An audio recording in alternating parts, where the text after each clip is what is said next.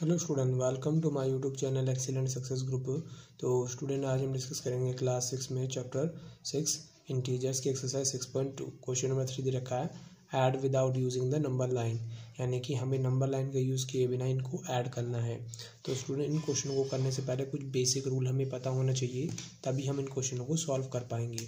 देखो, रूल हमारे ये होते हैं कि अगर हम कोई प्लस का डिजिट है, प्लस का साइन है, मल्टीप्लाई करेंगे माइनस के साथ तो आंसर आंसर आएगा हमारा माइनस का। माइनस को मल्टीप्लाई करेंगे प्लस के साथ, तब भी माइनस आएगा, ठीक? अगर एक माइनस का हो, एक प्लस को मल्टीप्लाई करने पे माइनस ही आएगा। एक माइनस का, दूसरा प्लस को मल्टीप्लाई करने पे माइनस ही आएगा। लेकिन अगर दोनों साइन सेम हो, दोनों प्लस के हो तो आंसर प्लस, दोनों माइनस के हो तो भी आंसर क्या होगा? प्लस होगा। इन बेसिक रूल को दिमाग में रखते हुए इन क्वेश्चनों को हम सॉल्व करेंगे। ध्यान रखना, ये रूल सिर्फ़ और सिर्फ़ मल्टीप्लाई के हैं प्लस माइनस के रूल नहीं है, प्लस माइनस के रूल अलग होंगे। अब यहाँ देखो जरा, यहाँ में कौन दे रखा है? इलेवन। आगे साइन नहीं है तो ये प्लस का साइन होगा, ठीक? Plus into minus, plus into minus, क्या होता है माइनस? दो साइन का हमने एक साइन बना लिया, ताकि हम क्लियर कर सकें कि हमें प्लस करना है या माइनस करना है। अब सिंपल सा कंसेप्ट है, अगर एक नंबर प्लस का हो। अब यह मल्टीप्लाई का बीच में कहीं पर भी साइन नहीं है तो इनका रूल कोई, इनका यूज़ अब नहीं है। एक प्लस का हो, एक माइनस को माइनस करेंगे, ग्यारह में से सात गए चार। फिर देखना दोनों में से बड़ा कौन है। अगर प्लस का बड़ा है तो निशान प्लस का आएगा। अगर माइनस का बड़ा होगा तो निशान माइनस का आएगा। लेकिन अगर प्लस का आंसर आए तो आगे प्लस लगाना ज़रूरी नहीं है, बट माइनस का आंसर आए तो माइनस लगाना ज़रूरी है। क्लियर? बाहर कोई निशान नहीं है तो ये एज इट इज़ माइनस का थर्टीन ही रहेगा। यानी दो निशान हो गए, हम दो को एक बनाएँगे। प्लस इंटू प्लस क्या होता है? प्लस जैसा कि मैंने अभी भी यहाँ पे कहा, एक माइनस का हो, एक डिजिट प्लस का हो, हमेशा माइनस करना है। अट्ठारह में से तेरह गए, पाँच। बड़ा कौन है? दोनों में से प्लस का तो निशान आएगा प्लस का। प्लस आए तो लगाना ज़रूरी नहीं है। लगाना है तो लगाओ, ना भी लगाओ, फ़र्क नहीं पड़ता। बट माइनस का आंसर है तो लगाना ज़रूरी हो जाता है। बाहर कोई निशान नहीं है तो ये माइनस का टेन ही रहेगा। फिर दो निशान आ गई अगर दो निशान को एक निशान बनाना हो, तब हम इनका यूज़ करते हैं। देखो, दो निशान है प्लस इंटू प्लस क्या बन जाएगा? इसका एक ही बन जाएगा प्लस फिर, अब इनका यूज़ नहीं है। अगर एक डिजिट माइनस का हो, एक प्लस का हमेशा माइनस करना है। उन्नीस में से दस के नौ, बड़ा कौन है? प्लस का तो निशान आएगा प्लस का। प्लस लगाना ज़रूरी नहीं है, लगाना है तो लगाओ, ना भी लगाओ तो कोई फ़र्क नहीं पड़ता है। ठीक? बट माइनस आए तो लगाना ज़रूरी होता है। अब डिस्कस करेंगे इसका डी पार्ट बाहर कोई निशान नहीं है। माइनस का two fifty, plus into plus, क्या होता है प्लस? फिर वही सेम स्टोरी एक माइनस का हो, एक प्लस को हमेशा माइनस करेंगे।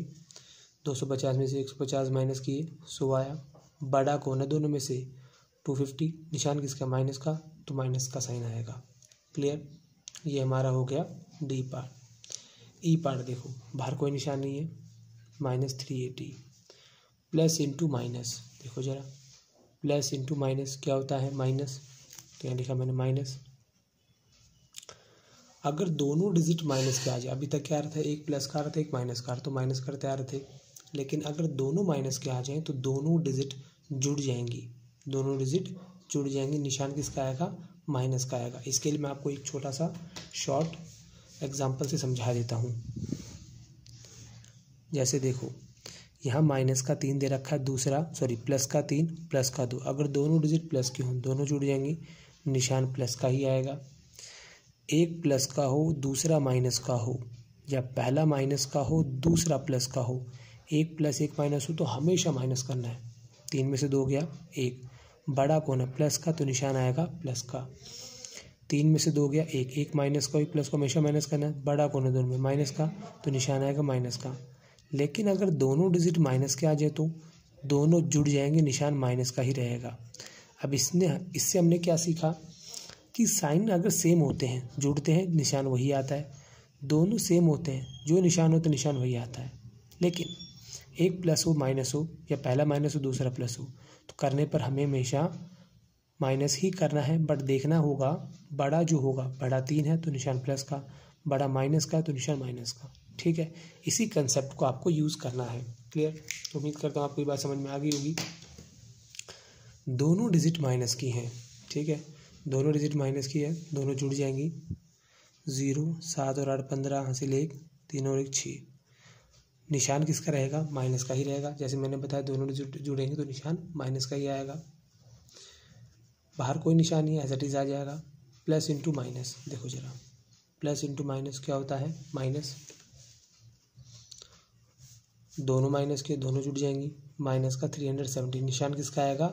माइनस का ही आएगा। सेम निशान हो तो डिजिट जुड़ती है। निशान सेम टू सेम वही आ जाता है। अब डिस्कस करेंगे इसका क्वेश्चन नंबर फोर कंसेप्ट तो हमारा वही रहेगा। देखो जरा। वन हंड्रेड थर्टी हाँ one hundred thirty seven sum करना है तो यहाँ प्लस का निशान आएगा। माइनस थ्री फिफ्टी फोर ठीक है? आगे निशान है तो ये तो कन्फर्म है प्लस का ही रहेगा one thirty seven plus into minus दो निशान हो रहे ना, देखो जरा प्लस इंटू माइनस क्या रहेगा? माइनस हो जाएगा। मैंने आपको बताया, एक प्लस का हो, एक माइनस को, हमेशा माइनस करेंगे। थ्री फिफ्टी फोर में से थ्री फिफ्टी फोर में से माइनस करेंगे वन थर्टी सेवन माइनस कर लेते हैं। यहाँ बचा सात, चार, एक ना, यहाँ बच गया तीन तीन में से क्या दो? टू हंड्रेड सेवनटीन ठीक है? दोनों में से बड़ा कौन है? माइनस का तो निशान किसका आ जाएगा? माइनस का क्लियर वैसे ही देखो हमारे ये वाला part minus fifty two sum करना है तो हम प्लस का साइन डाल दिया। एक डिजिट माइनस का हो, एक प्लस का हो, हमेशा माइनस करेंगे। बावन में से बावन गए ज़ीरो ज़ीरो का कोई साइन नहीं होता, ना प्लस का, ना माइनस का। अब डिस्कस करते हैं इसका। सी पार्ट सी पार्ट हमें दे रखा है। तो सी पार्ट में हमें दे रखा है तीनों का क्या करना है? सम करना है। तो यहाँ लिखा मैंने थ्री हंड्रेड ट्वेल्व बीच में प्लस का साइन डाल दिया। थर्टी नाइन प्लस में वन नाइन्टी टू क्लियर करने के बाद इसके बाहर तो कोई निशान है नहीं। तो ये तो माइनस का ही रहेगा। बट ये दोनों किसके हैं? प्लस के हैं। दोनों को जोड़ लेंगे हम। Thirty nine and one ninety two मैंने क्या कहा था? अगर दोनों डिजिट प्लस की हों, दोनों जुड़ेंगे, निशान प्लस का ही आएगा। प्लस किया, नौ दो, ग्यारह हासिल एक तेरह हासिल एक दो। टू थर्टी वन निकल के आया। फिर मैंने बोला, एक डिजिट माइनस का हो एक डिजिट प्लस का हो तो हमेशा माइनस करना है। टू थर्टी वन और थ्री हंड्रेड ट्वेल्व, दोनों को माइनस करेंगे। माइनस किया, वन आया, ग्यारह ग्यारह में से नौ गए।